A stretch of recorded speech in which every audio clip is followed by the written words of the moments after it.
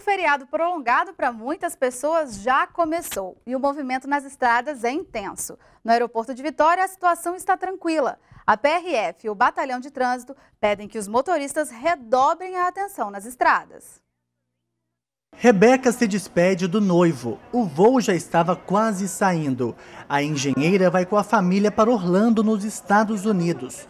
Vão ficar 12 dias. A gente está muito ansioso para a viagem e a família toda reunida para comemorar o aniversário dos meus irmãos. Muitas famílias aproveitaram para viajar e visitar os parentes. É o caso da advogada Letícia. Ela e a filha de três anos vão para São Paulo. A dinâmica é meio apertada para trabalhar, conseguir, mas aproveitar esse tempinho para ver as outras pessoas, descansar um pouco, é bom. O reflexo no feriado pode ser notado no trânsito. Para os motoristas que seguem para o norte do estado, hoje à tarde já começaram a enfrentar o congestionamento. Quem pegou a rodovia do Sol, a situação se repetia um longo engarrafamento se formou na terceira ponte. Por conta do feriado prolongado da Semana Santa e Tiradentes, o fluxo de veículos nas estradas é grande. Por isso, a fiscalização será intensificada. O objetivo é prevenir acidentes e orientar os motoristas. O Batalhão de Trânsito da Polícia Militar recomenda cuidados especiais.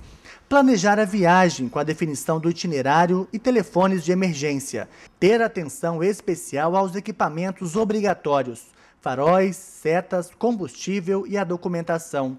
Normas de sinalização, limites de velocidade e as ultrapassagens em locais proibidos. Dados divulgados pela Polícia Rodoviária Federal mostram que as infrações mais cometidas pelos motoristas em feriados prolongados são o excesso de velocidade e as ultrapassagens em locais proibidos. Pensando nisso, a PRF vai realizar comandos específicos. 150 radares portáteis vão estar espalhados pelas rodovias que cortam o estado. A polícia vai intensificar também a fiscalização do consumo de bebidas alcoólicas. E já que amanhã é sexta-feira da paixão, vamos ver o que funciona na Grande Vitória? Os supermercados podem abrir das 8 da manhã às 6 da tarde, mas o funcionamento fica a critério de cada empresa. Os principais shoppings da região funcionam das 3 da tarde às 9 da noite nos feriados e no domingo. No sábado, o funcionamento é normal. As praças de alimentação estarão abertas das 11 da manhã às 10 da noite no domingo e feriados, e das 10 da manhã às 11 da noite no sábado. E já que estamos falando de feriadão, festa é o que não falta para quem vai ficar na Grande Vitória. Duvida? Então confira as dicas de Railine Hausmann na Agenda Cultural.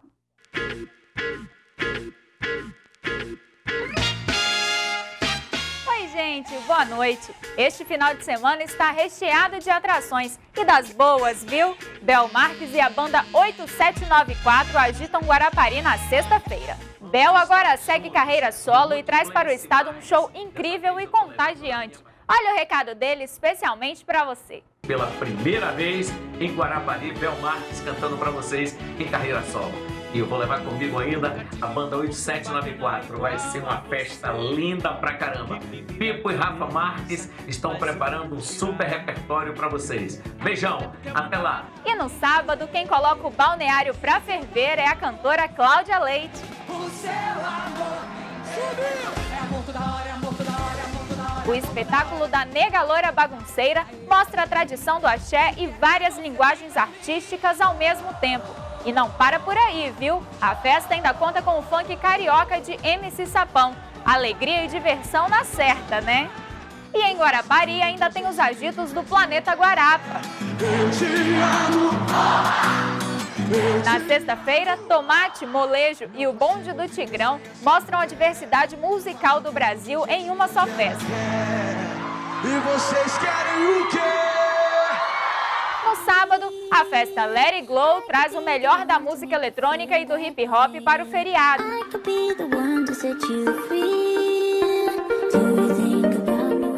Já no domingo, é a vez dos micareteiros aproveitarem a noite. No palco, Piscirico, Jamil e o bloco Carrossel de Emoções.